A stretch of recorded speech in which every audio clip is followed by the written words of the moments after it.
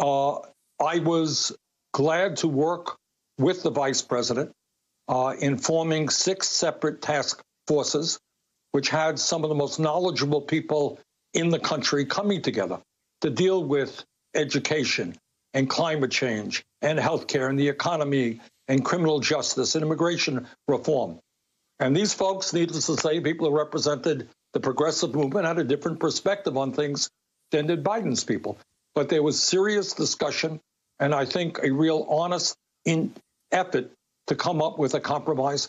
And I think the compromise that uh, they came up with, if implemented, will make Biden the most progressive president uh, since FDR. Mm. It did not have, needless to say, everything that I wanted, didn't have everything that Biden wanted,